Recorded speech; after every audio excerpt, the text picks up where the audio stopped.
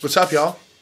Boulevard Bullies. Welcome to the final frontier of sports entertainment entertainment. yeah, pretty much. Welcome to the future of professional wrestling journalism. You know, last night was double or nothing. You called me, you said, Pat, you got to tune into this event. Wrestling is changing. Yeah. And all I could think about in the middle of the night was, we have to change with it. So I Amazon primed this $500,000 liquid HD screen. Don't touch it. Don't. Don't don't freaking touch it. We need to react and analyze what's happening in wrestling, what's happening in the new alternative of wrestling, and we need to provide people with the alternative to the alternative. I got notes in a vanilla folder. I have more beers. Uh, also, it's cold double or nothing, so I went to the liquor store and I got a deal on two things of Fireball. So double or nothing. So that's that. Uh, I think we should take a sip of this. You want to take a sip? Cool. I wanted to try to tell you this before we started filming and recording. I didn't watch it. Um, I didn't. Not only did All I right. not take notes, I didn't watch it. I know what Twitter says about it. So did I need to watch it? No. I'm in the augmented reality. I'm a step ahead of you, just like this fucking liquid Don't- don't- don't screen of joy. Yeah. Let's put a picture of Parappa the Rapper right here, right now. Steve, what do you want to put up on the screen? Let's just do it. Any anything at any time. Just like think about it. Like think about Like, it like the whole throughout the whole thing. Just yeah, start throwing. like think Let's- about right now. Yeah. Oh, I know, I know. Mr. direct- Doubtfire right now. See Mr. Doubtfire. So you didn't watch it, but you know what went on because you have the internet. I know everything that happened. Overall thoughts. Pretty on much, the um, pay per view. You know, I was a little skeptical at first. You know, I'm I'm a huge hater. Yeah. yeah. Love to hate. Mm, Bill Hader. Love it. Love to Bill hate. Hader. That's why we got it for the puns. To get the puns just right up there, drive them right home, right in your Yeah. right in your heart like a stake. Throw the big puns. Buffy the Big Vampire pun! Slayer. First match. Uh, Casino Battle Royale. All of our indie darling friends were in there. You got MJF. You got Joey Janela. You got Marco Stunt. You got Jimmy Havoc. You got other guys. Orange Cassidy was there. ECW legend Tommy Dreamer was I in saw there. Tommy Dreamer was Sonny in it. Kiss was there. Badass Billy Gunn, who we've rung announced twice at Outlaw Wrestling. Wrong announce. Ri- ri- ring, ring. Came down fully oiled. I saw. Yeah, fully yeah. geared up, fully oiled. He was ready to go. He was ready to go. He wanted to win that shit. They came in in like groups of five because they were all like the different uh, decks of cards or whatever. Like this is the group of spades, this is the group of hearts, this is the group of clubs, blah blah blah blah. Kinda neat. Mm-hmm. So it was like five at five at a time. No theme songs. They just kind of like walk down the aisle, which is a little weird. These guys can't really do TV, so they just put them all in the battle royal together. And they just basically did like all their spots. Sonny Kiss did the butt bump in the turnbuckle to Dreamer. Marco Stunt did a flippy thing. Joey took a table spot to the outside. What was Penelope Ford's capacity in this event? She was doing like a full sensational she, Sherri. she was basically. basically full valet in midst of this outside choke slam. It was like ah! And that's Wow, pretty good. That was incredible. it. Great elimination. Hangman Page came out as the Joker. He was like the last guy. I guess that was a big thing they did. Because he Oh, the Joker was like the final. yeah, the Joker was like So the last neat- card.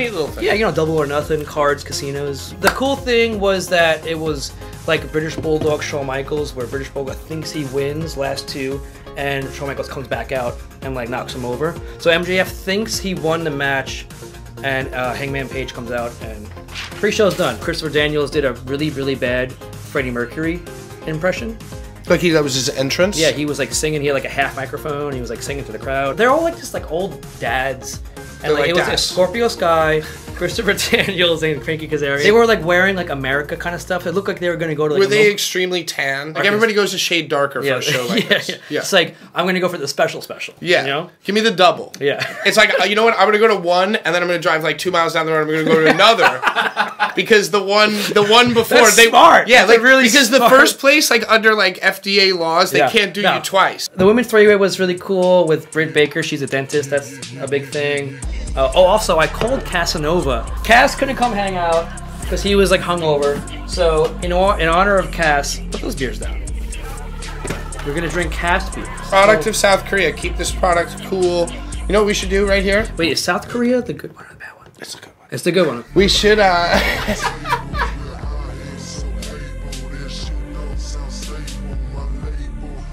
it's definitely beer. Yeah, it's a light beer. So let's fast forward. Fast forward through something that was Uh, fucking good. Oh, you know what? The tag match: Jack Evans and someone else From the heavens. We picked up uh, Jack Evans at the airport. Uh, for Jimmy Lloyd's 20th birthday, we got a phone call from the powers that be, Mm-hmm. and we had to drive two hours out of our way to pick up Jack Evans at LaGuardia. No, JFK, right? You know, you did send me a picture of Jimmy Lloyd sitting front row. We can't get away from Jimmy Lloyd. He's the Easter egg in all of our videos. I, I don't know how he so just it. like Jimmy, ugh, him- like second row, sec- second row Jimmy. All right, so that was the that was the tag match. Um, whatever. It was a great six-way, six-man, six-woman Japanese wrestling women uh, tag match. That was great. They cut away to the announce table, and Jim Ross goes, uh, "I don't really know where we are right now." And it was like an actual like a moment where I was like, "Oh, they're gonna fail. This is like the moment where they're gonna mess up." Right. And then they just kind of like cut to that promo that was like country music, Dustin Rhodes, Gold Dust, Cody, Dusty, we love you, brothers. Great. It was they great. are brothers. What do you think about the uh, intro with like the sledgehammer? Much like everything in wrestling, like it was so lame, Yeah. But it was so cool. he didn't even actually smash it. Yeah. He, He went hit it, and it triggered like a. yeah, Yeah. like oh my god, it was so. It's like Legends of the. Hidden Temple, like when you like get Yes. the monkey head in and goes. Yeah, You know what I mean? It was. It was. Legends of the Hidden Temple. Phone call. I don't even think I like wrestling anymore. Like I don't think I actually like watching the matches. And I watched that match and I was kind of like, oh, you know, there was a figure four and they did reverse the pressure. No, come on, Yeah. So there was a big figure four and they reversed the pressure. dude. That's my favorite. thing. during and and that's and that's actually when they reversed the pressure that's how you got dustin No. sitting up looking like Oh. stone cold figure four pressure reversal dustin looks up like stone cold wrestlemania 13 iconic shot boom money After a pressure reversal, you're there talking. you go and then eventually cody won Did Jim Ross say reverse the pressure? who's dim ross Whatever. Screw you. I'm, I'm no, forget it. Forget it. Hey, uh, like, comment, subscribe, hit that bell. Boop. So it went straight to the unveiling of the AEW World Championship. Bret, the Hitman Hart. Not Brett the Hitman Lauderdale. So MJF comes out, interrupts him, does the whole like, Bret, there's a fan. Great pop. That was awesome. Young Bucks versus Lucha Bros. I mean, Young Bucks have good matches. Penta and, and Rey Fenix have good matches. JR kept going, why can't tag team wrestling be good? And he said that every single time after every spot. So I get it. There'll be good tag team wrestling in AEW. Whatever. I mean, the Young Bucks are the best tag team. Yeah, they're good. They're great. Penta's great. I don't really care.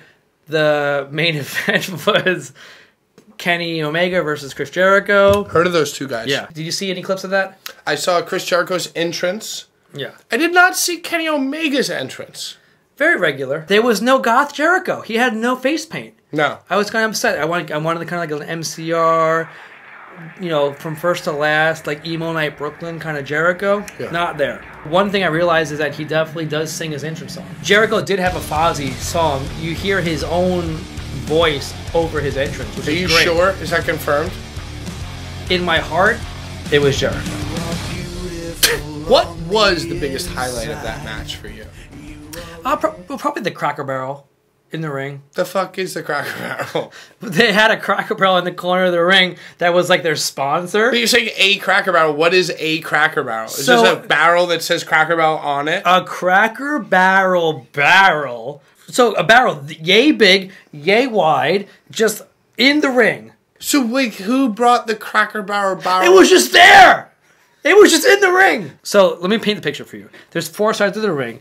Two sides are Kenny and Chris. There's one side that is just a Cracker Barrel barrel. The ref tries to get it out of the ring under the bottom rope, can't do it. Chris Jericho gets literally mad about it. He pushes the fucking barrel through the middle rope, and then he goes to the ring announcer and he goes, "What the fuck?" He walks outside. He rings the bell himself. Amazing. Uh, it, that was the one thing that took me out of the match because it was like coming off of Dust, uh, Dustin and Cody. It was really great, and then you have a fucking barrel in the match. Whatever. He gave the Judas effect. You know what that is? I think I might have seen this because, you know, I didn't watch it, but I've watched You it. saw the clip. Ah! Yeah.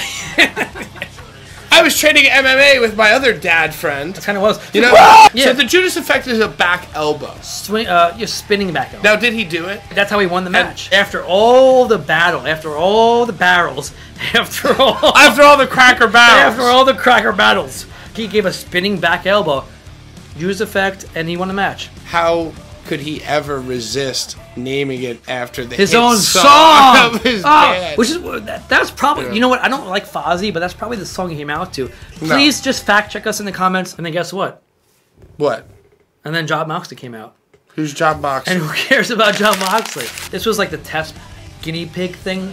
They had like six months to like have one good pay per view. Playing in a band, you have your whole life to write your first record, Mm. and then after that, you gotta pu- pump one out every year. and I think more importantly than any of that is the new Boulevard Bullies setup. Super expensive. Solar system. Moving forward, I still don't really care. I actually had a good time watching the pay per view. The production was cool. Cameras were a little weird, but the matches were great. Um, Jim Ross, classic. What was your favorite match of the night? Dustin Cody was the best match of the year. Of the year? Of the year. it's only five and a half months. Into well, the it year. won't get it won't get topped. It won't get topped. Wow, incredible. says thanks for watching. Uh, you know, hey, so this is us doing double or nothing. Right. And I go, oh, and then, then I go, oh, cool. You know, like I'm surprised because let me do it another shot. Okay, cool. Yeah. Let's do it. Boulevard Bullies.